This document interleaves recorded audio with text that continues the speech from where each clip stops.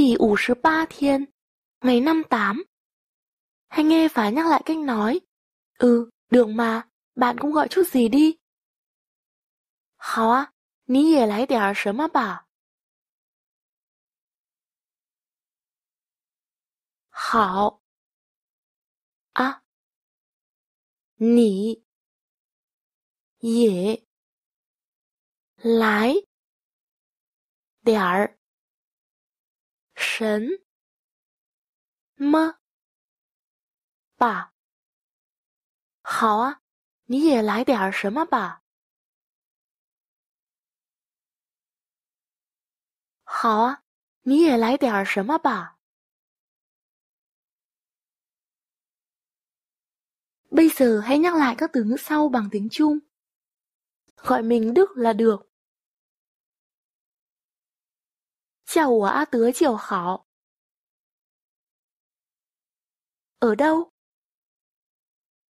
Tại nả? Nhà mình chính là ở gần đây. 我家就在附近。Học ở trường đại học nào? 在哪所大学读书 cho mình số di động. mã. Có dùng Facebook hay không? Dùng bố dùng liền su. Sau khi về, dùng từ chỉ để biểu đạt phương hướng xa khỏi phía người nói. Khuế chỉ khẩu. Tìm thấy rồi, 找到了。Lên WeChat nói chuyện nhiều chút đi.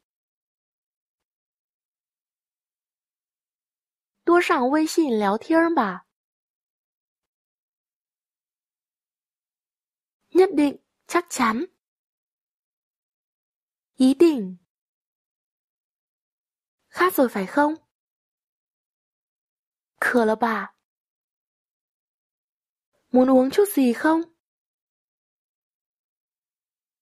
要喝点什么吗？